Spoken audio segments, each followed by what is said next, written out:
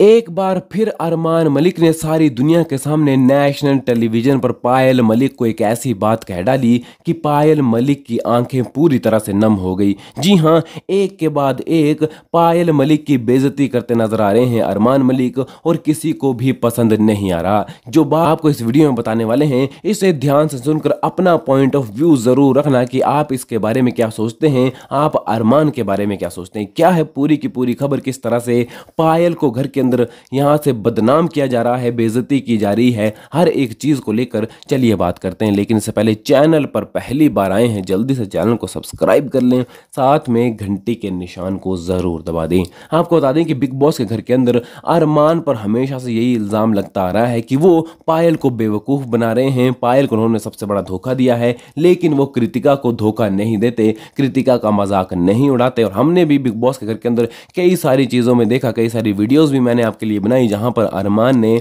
पायल को नीचा दिखाया और अरमान पायल को इग्नोर करते नज़र आए। ऐसे में एक बार फिर से बिग बॉस के घर के अंदर गार्डन एरिया में अरमान और पायल दोनों बैठे हुए होते हैं, जहाँ पर अरमान सीधा बैठे होते हैं और पायल खाना खा रही होती है अरमान के सामने, जहाँ पर पायल जैसे ही मुँह में वाला डालती है तो अरमान उससे कहते हैं, क्या तुझे खाना खाना भी नहीं आता? जी हाँ नेशनल टेलीविज़न पर अरमान कहते हैं कि क्या आफत आई है तू इतनी जल्दी खाना खा रही है?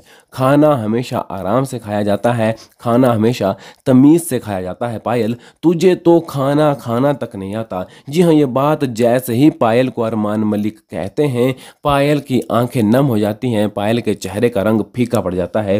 काफ़ी बुरा लगता है पायल को, और लगे भी क्यों ना, क्योंकि ये एक बार नहीं हुआ, इससे पहले भी कई बार हुआ, जब यहाँ पर अरमान ने पायल को यह कहा कि तू कमज़ोर खिलाड़ी है, तुझे कहीं ना कहीं जनता वोट नहीं करेगी। पायल के पीठ पीछे अरमान ने यह बात भी कही थी कि मुझे ऐसा लग रहा है कि पायल इस हफ़्ते घर से बेघर हो जाएगी, क्योंकि उसकी गेम ही मुझे अच्छी नहीं लग रही है। साथ ही साथ एक बार अरमान ने पायल को लेकर यह भी कहा था कृतिका से कि अब मुझे पायल के लिए कोई फीलिंग ही नहीं आती। ये बात भी कही थी। ऐसे में अब एक के बाद एक बेजती की जा रही है पायल के बिग बॉस के घर के अंदर। यहाँ पर जब पायल ने अरमान से कहा था कि प्लीज़ शिवानी से बात कर लो प्लीज़ शिवानी को मना लो, तब भी अरमान ने पायल को इग्नोर किया था और कहा था कि मैंने तुम्हारी बात एक बार सुन ली तुम बार बार रिपीट मत करो। मेरी मर्ज़ी है मैं जो करूँ, मेरी मर्ज़ी में जो ना करूँ। यानी यहाँ पर अब अरमान का पायल और कृतिका को लेकर साफ़ साफ़ पार्शियलिटी हम सबको देखने को मिल ही रही है। तो आपको इसमें क्या लगता है? आपका पॉइंट ऑफ़ व्यू क्या है कि सच में ऐसा ही कर हो रहा है घर के अंदर